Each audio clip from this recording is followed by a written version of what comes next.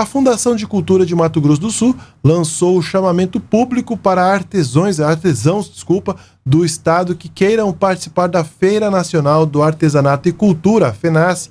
Mais informações com a Isabela Duarte.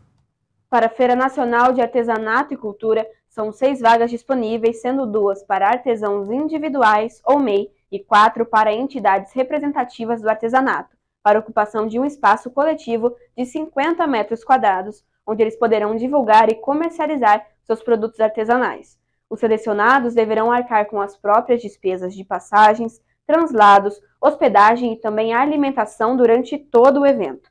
Mato Grosso do Sul já participou de duas feiras neste primeiro semestre e está indo para sua terceira agora em julho.